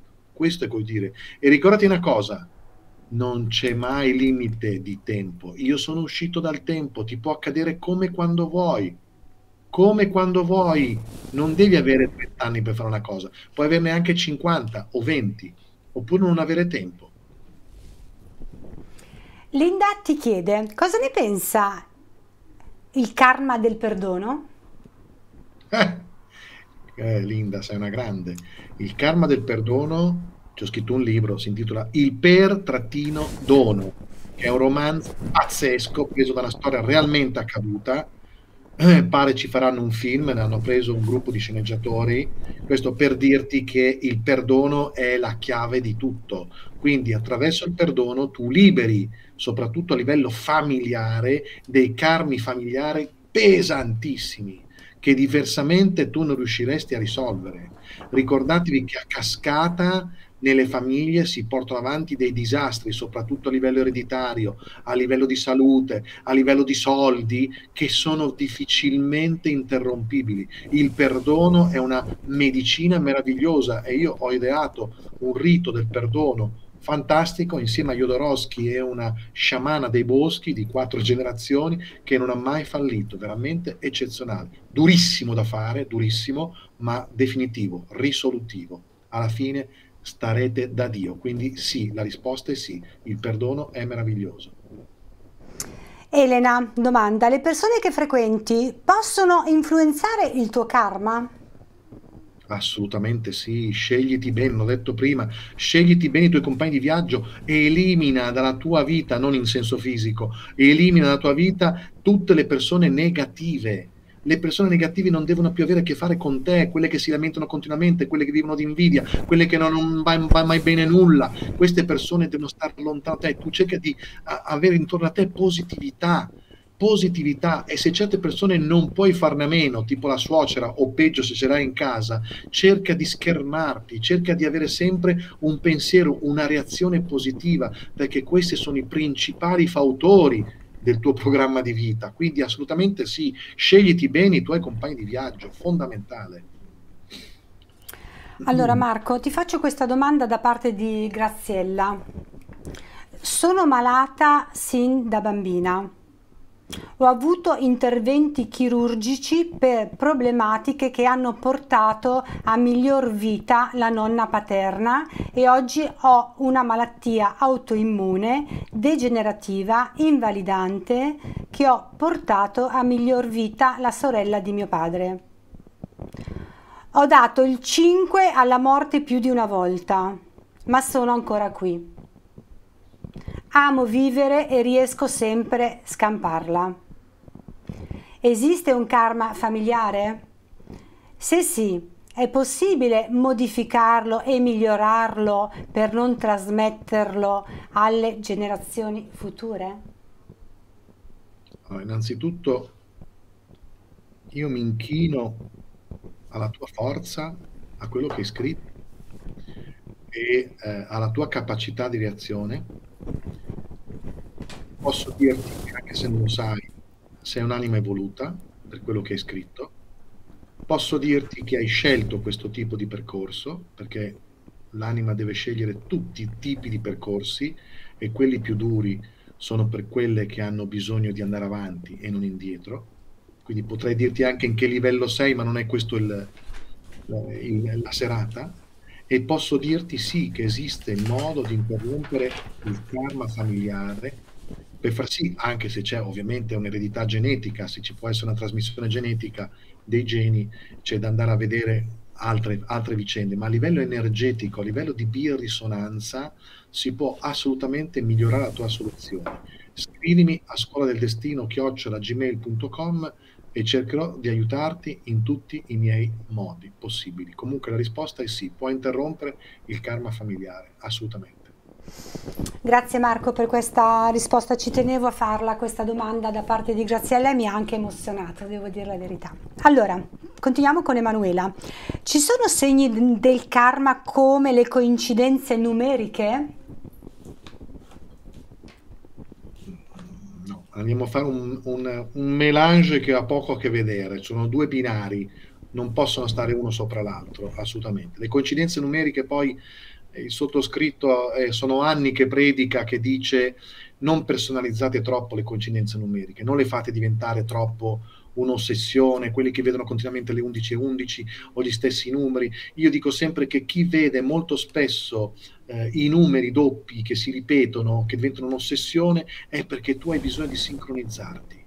Nel momento in cui tu sei sincronizzato con l'universo, con la tua esistenza, i numeri scompaiono, non li vedrai più, non ne avrai più bisogno, non diventerà un'ossessione. Se invece tu ritieni che hai fatto una vita dove un certo numero ti ha sempre accompagnato, allora diventa ricercatore come me. Ti compri un taccuino, ci metti sopra la data, oggi alle ore 8.15 ho visto quella targa che davanti a me è, eh, aveva quei, quei, due numeri identici. Eh, oggi pomeriggio mi ha ripetuto guardando quel portone, guardando quel cioè fate una cronologia e una ricerca fatta per bene e trovate le risposte, perché quando voi cominciate a dire ah io vedo, vedo, la gente ingigantisce sempre, fatevi una cronologia reale di quello che vi accade e allora vedrete quante volte si ripete, che numeri sono, in che contesti, cosa stavate pensando, cioè è troppo vasta la questione. Uh, Paoli, che era un, è uno dei padri della fisica quantistica, era ossessionato dal 137. Lui era dieci anni che era convinto, se lo sognava di notte questo 137, lo vedeva dappertutto e quindi aveva obbligato tutta la sua squadra di scienziati nelle varie ricerche a mettere il 137. Il bello è che le formule andavano avanti, non è che si fermavano. E quindi lui era entusiasta, vedete che c'ho ragione, vedete che c'ho ragione, 137, 137, 137, poi alla fine crollava tutto e poi tornava, ma non è possibile, questo 77, no, perché aveva un sogno così. A 55 anni si trovava a Zurigo, si sente poco bene, la figlia lo accompagna in una clinica privata per fare degli accertamenti e lo ricoverano dentro la stanza numero 137. Due giorni dopo è morto. Capite? Capite cosa vuol dire? Un conto è un sogno premonitivo, un aggancio ai tuoi registri, un qualcosa che ti arriva costantemente dentro la tua testa un conto che tu continui a guardare il, il telefono, le targhe, le cose, e sei tu che sei, che sei tu che lo cerchi, se no non lo vedresti, sei tu che lo cerchi. Capite cosa voglio dire? Ecco, anche oggi l'ho visto, quindi no, la risposta è no, le coincidenze numeriche non hanno a che fare col karma. Ok Marco, ti faccio una domanda simile da parte di Rosalba Leonite e Alessandra. Rosalba ti domanda, si può riconoscere un incontro karmico? E Alessandra dice, come si fa a risolvere un amore karmico? Quali sono le tecniche? Anche qua. Mi darai un altro webinar. Sono brava eh, a scegliere le domande, te le faccio tutte. Ora, l'amore karmico, l'ho appena detto, lo riconosci perché è il tuo specchio. L'amore karmico è quando tu incontri l'uomo e dici, cavolo, ma questo è uguale a me me ne sono scelto uno che è il bello che all'inizio tu dici cavolo che figata, è tutto uguale a me, gli piacciono le stesse cose, fa le stesse cose, cose. poi alla fine ti rendi conto che magari quando ci vai a vivere insieme che avere tutte esattamente le stesse cose comincia ad essere un problema perché dovete compensarvi, uno deve fare la spina e l'altro deve fare i buchi dove entra la spina, se no fate le scintille, capite? Quindi l'amore karmico lo riconosci in quel senso, voi vi dovete completare, non paragonare, competere. La, com- la, la competizione è un amore karmico dove c'è competizione, dove c'è incomprensione a causa della competizione. Io ho bisogno del mio spazio, tu hai bisogno del tuo spazio, tu non mi capisci. Tutto questo è amore karmico, capite? Perché l'amore vero, quello non karmico, quindi quello che non è più necessario per risolvere, si fonde in una sola parola, che è libertà libertà, il vero amore, quando la tua libertà si fonde nella libertà dell'altro. Cosa vuol dire la libertà dell'altro? Vi ricordate il film Perfetti sconosciuti di Genovese? Vuol dire che io non ho bisogno di mettere i codici e i controcodici. Io sono libero, li, così libero che puoi fare quello che vuoi col mio telefono. Mi sento libero, non mi sento ingabbiato a delle costrizioni da nascondere. Ecco dov'è il vero amore. Capite? Quindi eh, cercate di compresso la seconda domanda, non la ricordo più. E, ehm, quella di Alessandra? Eh, parlava sempre dell'amore karmico, un po' quello che tu hai risposto ora. No, mi ha detto come si può guarire, no? Cos'è che aveva chiesto? Eh, aspetta che me la sono persa perché sono andata avanti. Come si può guarire dall'amore, da, no, dall'amore karmico? Dall'amore karmico? Sì. Devi un amore karmico per non ripetere e non continuare con lo stesso Perché ne ho tante, di... scusa Marco, ne ho tanto e adesso stavo, ti stavo facendo quella di Simona, comunque va bene, è quella, sì. Amore karmico per non ripetere continuamente sempre lo stesso errore, devi tornare nelle tue stanze nel passato, questa è la cura. Devi cambiare tu, non puoi cambiare lui, non lo cambierai mai lui, non lo cambierai mai, devi cambiare te e allora cambierai lui ma cambierai lui nel senso che lo cambi, ne prendi un altro. Erano, l'ho ritrovata Marco, erano per quanto riguarda le tecniche, se c'erano delle tecniche. La tecnica è tornare nelle tue stanze del passato, andare a rimettere a posto le tue sofferenze, i tuoi dolori, i tuoi pianti, le tue incomprensioni dai 0 ai 7, dai 7 ai 14, dai 14 ai 21. C'è un metodo infallibile però questa non è la seduta per fare.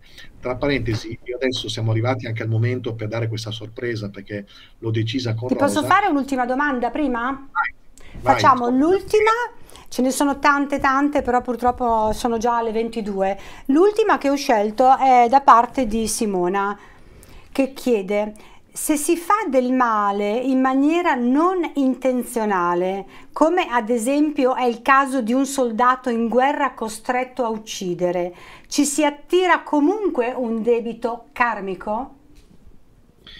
Sì, ma è un debito karmico di nazione, non più di individuo, perché qui è la nazione che agisce, quindi è un debito karmico nazionale che quindi viene spalmato su tutta la popolazione, non sull'individuo che ha sparato. È una bellissima domanda che fai, perché vedete, questo tipo di persone, eh, per esempio sullo sbarco in Normandia il 6 giugno 1944, eh, su, quelle, su quei chilometri di spiagge ci sono ancora migliaia e migliaia di ragazzi che vagano con il fucile in mano, corti a strappo, perché loro non hanno accettato di andare e sbarcare là, sono stati costretti e quindi questo peso karmico lì lo vai a avvertire e quando loro fatto tutto il viaggio, andati verso la luce, tornati su questa vita, andranno a recuperare, quindi saranno in credito e andranno a fare una vita meravigliosa per questo che hanno ricevuto. Questo, non è, questo è nel caso della persona singola, se no è un karma nazionale, distribuito su tutta la nazione. Bene. Sen- Vorrei dare questa notizia, che è un sì. regalo per tutti voi che siete nel webinar.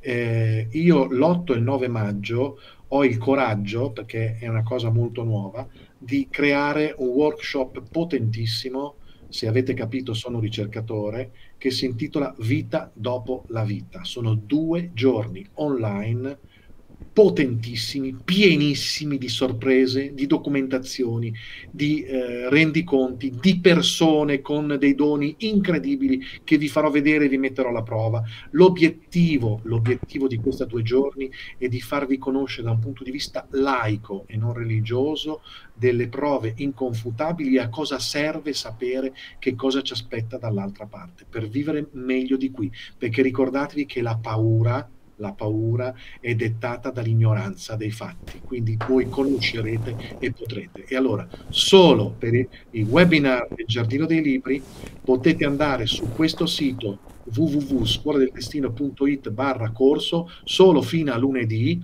c'è un prezzo veramente stracciato, ma io sono contento di averli tutti qua con me e partecipare a questa due giorni che tra l'altro sarà anche registrata e la potrete vedere solo per quelli che si sono iscritti, anche registrata dopo, se non siete potuti stare presenti tutte e due le giornate, veramente unica ma soprattutto nuova. È qualcosa di nuovo potentissimo. Ci sarà anche una sorpresa durante la sera, insomma un due giorni insieme a me, 8 e 9 maggio approfittatene perché è una condizione veramente quasi regalata eh, che scade lunedì.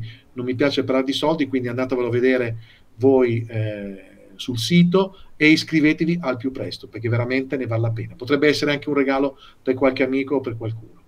Infatti Questo... Marco ci chiedono il link e noi lo stiamo già mettendo il link in chat. Mi fa piacere promuovere questo tuo corso che organizzerai in diretta streaming, giusto? Sì. L'8 e il 9 maggio. E poi alcune persone chiedevano anche se qui ti possono contattare, sì, giusto? A questa mail? Sulla mia mail scuola del destino chiocciolagmail.com Benissimo, per cui ci siamo, se per caso qualcuno poi vuole informazioni domani nostra, le nostre ragazze dell'assistenza vi daranno tutte le informazioni possibili eh, inviandovi ancora il link eccetera. Allora, mh, mm, Marco, intanto io ti voglio ringraziare per tutte le risposte. Eh, ci scusiamo se non siamo riusciti ad accontentare tutti i partecipanti, ma le domande erano, erano veramente tantissime e abbiamo solo poco più di un'ora a disposizione che poi abbiamo anche sfiorato tantissimo. E, ehm, allora, questa, questa, tua, prima dicevi no, appunto del tuo sogno. Eh.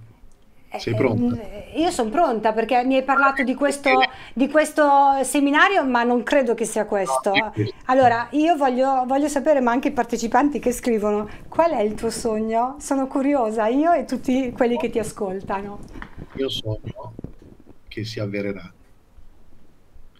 è quello di aprire a Ibiza un centro mondiale di ricerca sulle prove dell'esistenza della vita dopo la vita. Ripeto, aprire a Ibiza entro il 2023 un centro mondiale di ricerca delle prove dell'esistenza della vita dopo la vita. Questo progetto lo sto seguendo io e Sonia Benassi, quella che io reputo autrice del libro Io Medium, io Medium. Non solo, ma pubblicato e edito da Il Giardino dei Libri con Trigono e eh, questa meravigliosa medium di una potenza inaudita verrà con me a Ibiza per fare questa nuova avventura fantastica.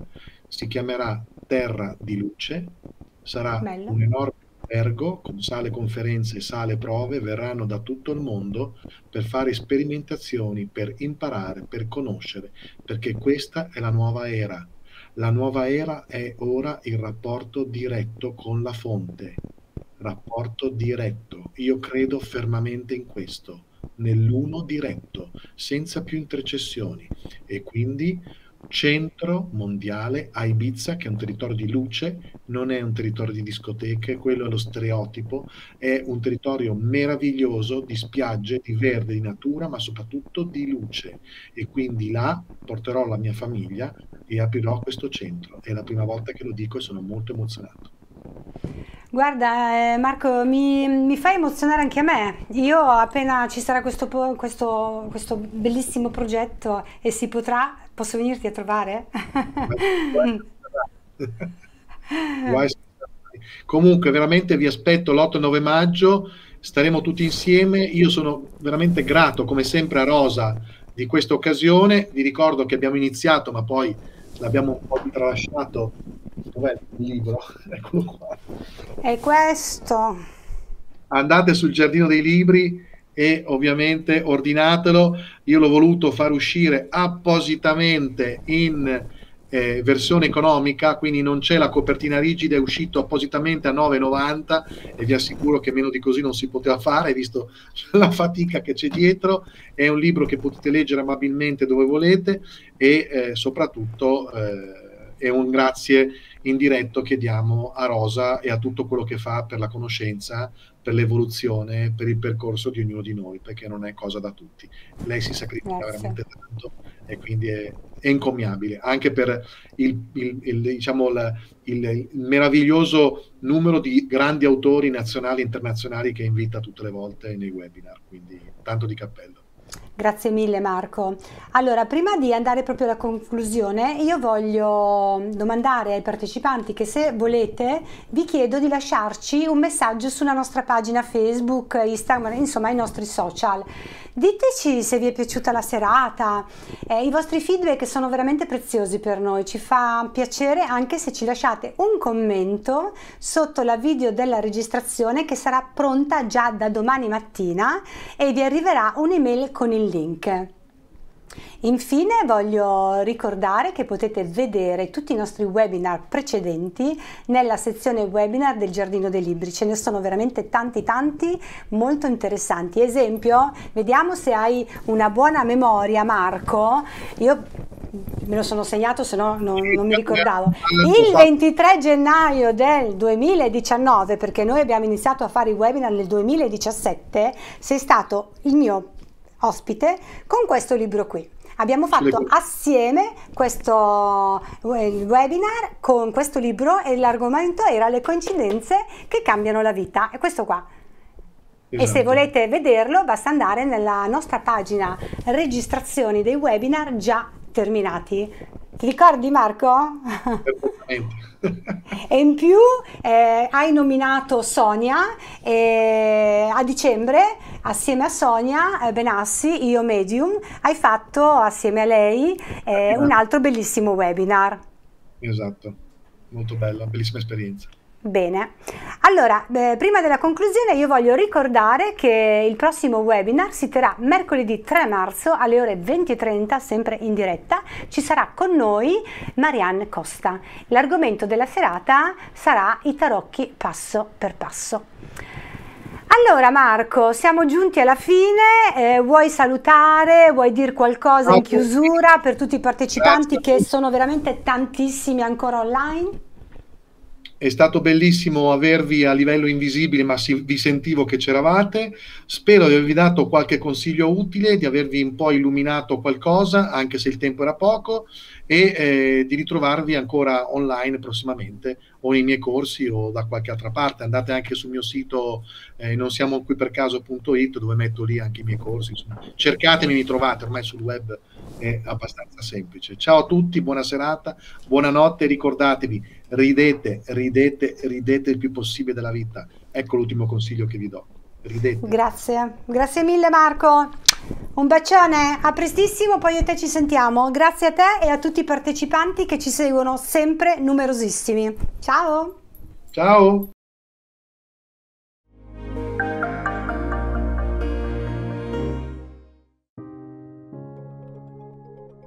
Salve amici, state ascoltando Radio Book, la radio del Giardino dei Libri.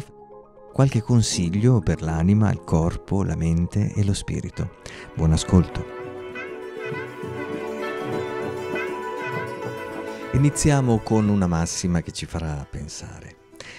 Ogni domanda riceverà risposta, ogni desiderio sarà esaudito. Non avrai più bisogno di avere paura o di soffrire apriamo il sipario sulle novità editoriali e scopriamo The Greatest Secret di Rhonda Byrne, il segreto più grande.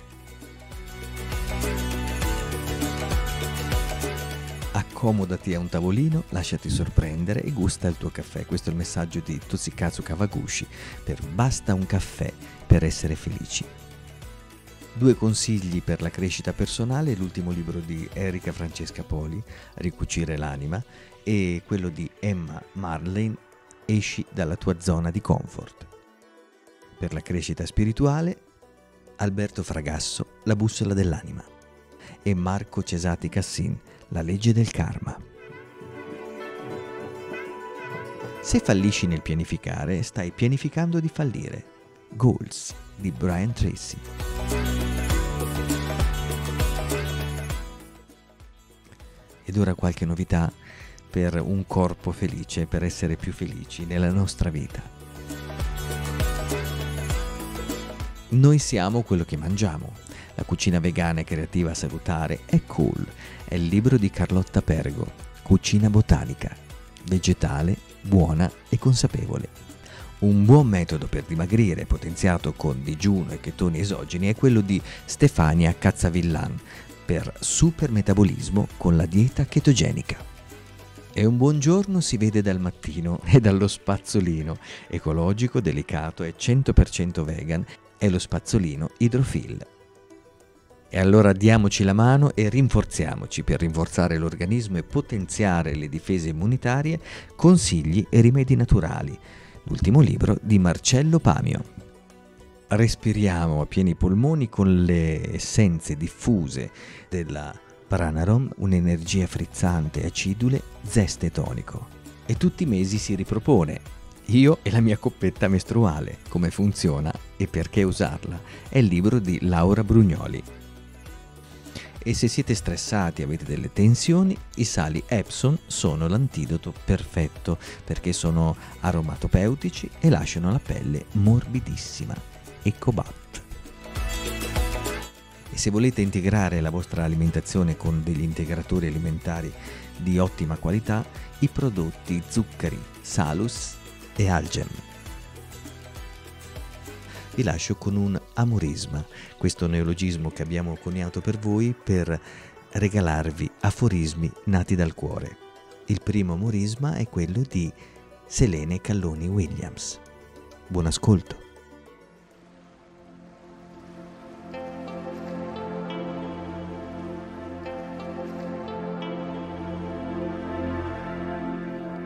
Tuoi avi guerrieri vegliano su di te